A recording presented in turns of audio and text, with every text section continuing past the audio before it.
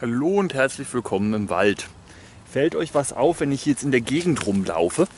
Ich habe nämlich den Eindruck, dass das Bild weniger verwackelt ist, weil ich jetzt auch so einen bescheuerten Stock, den man glaube ich Selfie-Stick oder so ähnlich nennt, besitze und demzufolge jetzt viel besser in der Gegend rumlaufen kann ohne dass das Bild mir gleich verwackelt und ich gleich auch so nah am Bild dranhänge und mein Arm alle fünf Minuten gefühlt abfällt, weil der dann taub geworden ist und das macht alles irgendwie jetzt viel schöner mit diesem Ding. Aber das nur am Rande. Denn ähm, das ist ja jetzt hier quasi also ein Update meiner Kameraausrüstung. Übrigens das allererste Mal, dass ich mir irgendwas Neues für die Kameraausrüstung gekauft habe, seit ich überhaupt angefangen habe mit YouTube. Und äh, ich muss sagen, da bin ich jetzt eigentlich relativ positiv überrascht, weil das Bild wackelt nicht wie Schwein, wenn ich mich jetzt hier umdrehe und so weiter und so fort. Und ich kann mich wirklich einigermaßen auch, auch gut aufs Laufen konzentrieren und bin trotzdem noch einigermaßen im Bild und überhaupt seht ihr mehr von der Landschaft. Theoretisch kann ich mich auch noch weiter weg machen. Ne? Seht ihr? Dann habt ihr noch mehr von der Landschaft, beziehungsweise vom Boden, je nachdem, oder von da oder, oder so. Ne? Und das Ganze wackelt einfach viel weniger, als äh, wenn man das mit der Hand festhält. Warum da so ein langer Stock da jetzt irgendwie was hilft, habe ich keine Ahnung, aber es ist so. Wer sich mit Kameratechnik auskennt und das in den Kommentaren erklären möchte, darf das natürlich gerne tun.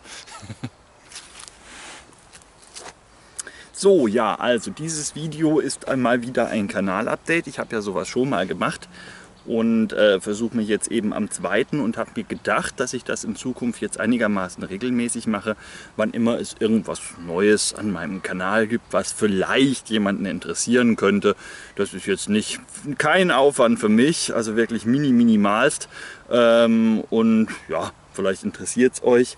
Und zwar, da kommt dann so Dinge rein wie, äh, wenn ich irgendwelches neues Kameraequipment habe, das haben wir ja jetzt schon geklärt gehabt oder äh, wenn ich irgendwelche unglaublich tollen neuen Ausrüstungsgegenstände entdeckt habe, die allein kein Video rechtfertigen und das wäre jetzt heute mal der Fall und zwar war ich im Dena. Kennt ihr Dena? Das ist so ein Gartengroßmarkt, so eine Art Baumarkt für den Garten. Also ich war nicht direkt im Baumarkt, sondern im Gartenmarkt und habe aber da entdeckt, ähm, ich weiß nicht, ob die was taugen, aber ich finde die schon mal sehr vielversprechend. Diese tollen äh, Wärmekissen. Und zwar hat der, der Saki ja mal ein tolles Video gemacht, wo er in der Rettungsdecke übernachtet hat und sich zusätzlich mit diesen Dingern, also mit ähnlichen, ähnlichen ähm, Dingern beklebt hat und dann doch eine für eine Rettungsdeckenübernachtung ganz angenehme Nacht hatte bei ziemlich niedrigen Temperaturen. Und ich habe mir gedacht, das probiere ich auch mal aus. Ich bin mir noch nicht sicher, ob ich da jetzt unbedingt gleich eine ganze Nacht drin schlafen muss in Rettungsdecke mit diesen Teilen. Ich habe da zwei von. Ähm, aber da ich ja ein Freund der Billigausrüstung bin, äh, sind das eben absichtlich nicht die Dinger, die der Saki empfohlen hat. Die sind ja garantiert nachweislich gut, hat ja bei ihm prima funktioniert, sondern die Billig-Variante, die ich halt eben aus dem Gartenmarkt habe. Ähm, und die kosten 2 Euro pro Stück. Und das ist meiner Meinung nach durchaus ein Preis, mit dem ich eher leben kann. Ich habe vergessen, wie viel die beim Saki gekostet haben, aber die waren dann schon so teuer, in Anführungszeichen, ähm, dass sie für mich zu teuer gewesen sind und das hätte ich jetzt nicht ausgeben wollen. Und witzig an diesen Teilen finde ich jetzt noch, dass da nur Eisenpulver, Salz, Aktivkohle, Wasser und Vermiculit drin ist. Also die enthalten so gesehen keine Chemie. Wobei alles Chemie ist. Jeder Stoff ist Chemie, denn Chemie ist die Lehre von den Stoffen. Also so gesehen, ne? ähm, auch eine Tomate enthält nur Chemie, wenn man es streng genommen betrachten möchte, auf diese Art und Weise, die ich jetzt gerade äh, verwende. Aber das ist ja scheißegal. Aber um, um, es mal einfach auszudrücken, hier ist eben Eisenpulver drin, das sollte selbsterklärend sein. Äh, Salz als ähm, Natrium und Chlor, weil da sind schon die beiden Bestandteile wichtig, Natriumchlorid. Ne? Ähm, Aktivkohle ist, ein, ist, eine Substanz mit einer extrem reaktiven Oberfläche. Das heißt, die hat jede Menge chemische Austausche an, seiner Oberf an der Oberfläche dran, an denen sich ein anderes Salz dran setzen kann, als momentan dran sitzt. Und das ist auch Sinn und Zweck des Ganzen, vermute ich schwer. Das ist nur eine Theorie. Wer ein besserer Chemiker ist als ich, darf mich gerne eines Besseren bewähren, belehren. Wasser wird noch drin sein, damit das Ganze überhaupt ablaufen kann, weil dazu braucht man eine gewisse Feuchtigkeit. Das funktioniert nicht in in rein trockener Umgebung. Und Vermiculit ist quasi die gleiche Funktion wie Holzkohle, äh, Aktivkohle. Aktivkohle ist übrigens meistens auch Holzkohle, aber ähm, muss nicht. Und Vermiculit ist ein äh, Gestein bzw. ein Mineral, das auch eben eine extrem hohe Kationenaustauschkapazität hat. Das soll heißen, äh, auch da können an der Oberfläche ganz einfach verschiedene Moleküle ausgetauscht werden.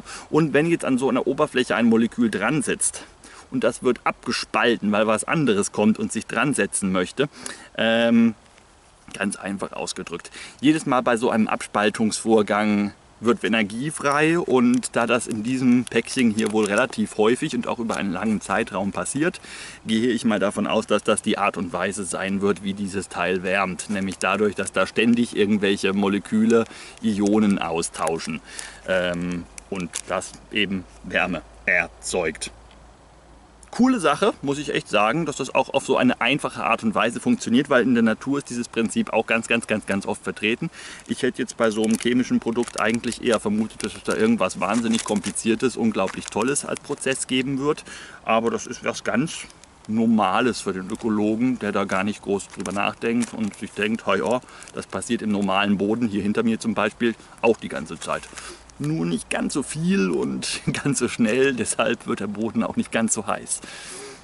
Mhm. Ja, dann wollte ich noch ganz herzlich Dankeschön sagen an den Fritz von End of the Comfort Zone, weil ich hatte ja festgestellt bei meinem Tourenvideo, also die Männer im Wald Tour, ich weiß nicht mehr welcher Teil es war, ich glaube es war der zweite, als wir am Frühstücksfeuer diskutiert haben über Outdoor-YouTuber im weitesten Sinne. Ähm, da habe ich ja auch festgestellt, dass ich jetzt anfange Hater zu haben und allgemein gar nicht so einfach ist, wie man jetzt damit umgehen soll. Und da bin ich jetzt besagtem Fritz extrem dankbar. Also herzlichen Dank an dich, solltest du das sehen, ähm, für den entsprechenden Kommentar, der mir jetzt doch äh, wirklich weitergeholfen hat. Ähm, ist irgendwie schön, wenn da ein erfahrenerer YouTuber als man selber ist, der auch nochmal einen ganzen Batzen mehr Abonnenten hat, ähm, einem mitteilt, Hater sind normal. Also herzlichen Dank, das hat mir wirklich weitergeholfen. Insgesamt, ich habe noch so ein bisschen meine Probleme mit den Daumen runter, die zu verdauen. Es gibt zwar auch immer mehr Daumen hoch äh, und nicht jedes Video ist ein Meisterwerk, das weiß ich selber. Aber ja, ja wenn es dann halt auch mal einen ganzen Haufen Daumen runter gibt, ähm, für die ich jetzt keine wahnsinnige Veranlassung sehe, weil äh, habe ich jetzt irgendwas unglaublich Dummes gesagt oder nicht, da fragt man sich dann halt doch eben, woran liegt's. Und ja, ist irgendwie blöd und naja, naja, ähm, da muss ich noch ein bisschen üben, wie ich damit klarkomme. Und eben deswegen hilft mir dieser Kommentar sehr. Also herzlichen Dank an den Fritz von End of the Comfort Zone. Comfort Zone, so. Dann möchte ich nochmal allen, die mit auf der Tour waren, also der Männer im Wald Tour, nochmal ein herzliches Dankeschön aussprechen dafür, dass ihr mitgekommen seid. Mir hat selber auch enorm viel Spaß gemacht. Ich habe das, glaube ich, so noch nicht allen von euch äh, so ganz klipp und klar gesagt gehabt. Deshalb möchte ich das jetzt hier nochmal gerne nachholen auf diesem Wege. Also ich fand es auch wirklich super. Ähm, war tolles Wochenende und das würde ich auch gerne in dieser Form nochmal wiederholen wollen, aber äh, mir spukt da ein kleiner Gedanke im Kopf rum, der mich da ein bisschen beeinflusst. Nämlich ursprünglich hatte ich vor, bevor ich euch kennengelernt habe und mitgekriegt habe, was für eine lustige Truppe wir gewesen sind, hatte ich ja eigentlich vor, dass die nächste Tour dann irgendwo im Norden stattfinden wird, damit die norddeutschen Zuschauer auch was davon, also von mir haben, jetzt mal ganz arrogant ausgedrückt. Ähm, einfach, dass ich da auch mal gewesen bin. Und ähm, daher ja, ich bin jetzt ein bisschen hin und her gerissen. Also nochmal in der Ecke, dann könnten quasi nochmal ähnliche Leute oder die gleichen Leute mit, je nachdem wie es natürlich terminlich passt oder halt eben in den Norden. Wahrscheinlich wird es trotzdem der Norden werden. Ich hoffe, das nehmt ihr mir dann nicht übel und könnt das nachvollziehen. Es war auf jeden Fall eine super, super Tour und irgendwann machen wir auch nochmal was in Richtung Pfalz oder sonst wie oder keine Ahnung, ist alles Zukunftsmusik. Ähm, wichtig war mir einfach nochmal ausdrücklich, herzlichen Dank, dass ihr mitgekommen seid und es war toll und hat mir viel Spaß gemacht. So, und ich glaube, Das war das Wesentliche, was ich sagen wollte, bis auf eine Sache. Das wollte ich nämlich jetzt auch in Zukunft immer so machen, wenn wir hier so ein tolles äh, Kanal-Update-Gedöns machen, wenn ich irgendwas Neues in Richtung Ausrüstung habe, was jetzt meiner Meinung nach nicht gleich ein eigenes Video sein muss. Äh, eine pfiffige Kleinigkeit, falls ich sowas habe und in diesem Fall habe ich sowas, dann wollte ich euch das in dieser, bei dieser Gelegenheit auch zeigen und das ist in diesem Fall dieses Teil hier. Sieht jetzt unscheinbar aus. Es ist eine komische Metallklemme an einem Karabiner an ein, mit einem Stückchen Stoff dazwischen, in Anführungszeichen. Hat jemand eine Idee, wozu das gut sein soll, könnte, dann kann er es jetzt in die Kommentare schreiben, bevor ich es verrate, was ich jetzt sofort tue. Nämlich, da kann man eine PET-Flasche, der schwarze äh, Inhalt ist nur, weil das Wasser lange gestanden hat. Ich trinke grundsätzlich nur Wasser, niemals irgendwelche schwarzen Getränke. Niemals. Wie dem auch sei, man kann an dieses Teil eine PET-Flasche dran klippen mit diesem Clip eben und sich diese PET-Flasche dann an den Rucksack, an die Hose oder an irgendein anderes Dingens, was auch immer, dranhängen oder von mir aus auch an den nächsten Baum, an den nächsten Ast. Alles ganz Wurst. Ähm, dieses Ding ist wie derjenige, der ihn mir geschenkt hat, der Ingo, der vermutlich einen Kommentar dazu hinterlassen wird, so wie ich ihn kenne. ähm, schon darauf hingewiesen hat, handelt es sich um China-Scheiß. Äh, entsprechend ist die Verarbeitung jetzt nicht unbedingt, äh, keine Ahnung, Modell Mammut, Hilleberg äh, oder, oder, oder, oder pff, irgendeine andere große Outdoor-Firma, die für tolle Qualität bekannt ist. Ähm, soll heißen, Wahrscheinlich werde ich jetzt dieses Stückchen Stoff irgendwann mal noch ein bisschen mit Nadel und Faden bearbeiten, damit das noch ein wenig stabiler wird oder mir einfach ein anderes Stückchen Stoff dranhängen. Und dieser Karabiner ist jetzt auch nicht die Mutter der Stabilität. Da werde ich mir vielleicht auch noch einen anderen dranhängen, aber genauso hat es mir der Ingo auch gesagt und ich hoffe, er ist jetzt nicht beleidigt, wenn ich beschließe, das so zu tun. Aber ich freue mich wirklich extrem über dieses Teil, finde das richtig, richtig pfiffig und habe das, seit ich es besitze, quasi immer an der Hose, es sei denn es ist die Anzugshose oder sowas in der Richtung. Dann natürlich nicht, aber an der normalen Alltagshose hängt das Teil jetzt immer dran. Bin ich sehr begeistert von. Ingo, wenn du möchtest und falls du das siehst, ich gehe fast davon aus, Ähm, Wäre es super, wenn du vielleicht noch eventuell darauf hinweist, wo du das her hast, falls das noch jemand anders haben möchte, sofern du irgendwie verraten kannst, wo du das her hast. Das war wohl irgendwie ja scheinbar eine Sammelbestellung, ähm, wenn du möchtest. Gut, ähm, aber mehr fällt mir jetzt zum Thema Kanal-Update eigentlich nicht mehr ein. Kleine Vorschau noch, was ich in nächster Zeit vorhabe. Nächster Baum wird wahrscheinlich die Schwarzerle. Da hinten stehen nämlich ein paar, die mich jetzt irgendwie gerade so ein bisschen, hm, da hätte ich jetzt Lust drauf. Mache ich heute nicht mehr, aber oh, vielleicht noch diese Woche. Äh, das seht ihr dann ja ohnehin. Äh, kommt ja alles pro äh, gesammelt online. ähm, und was habe ich noch vor? Ich wollte diese Teile dann irgendwann demnächst mal ausprobieren. Ähm, in wissenschaftlicher Sicht wollte ich euch mal noch mal ein bisschen erzählen, warum die Bäume im Herbst eigentlich bunt werden. In etwas ausführlicherer Form, kennt ihr ja von mir.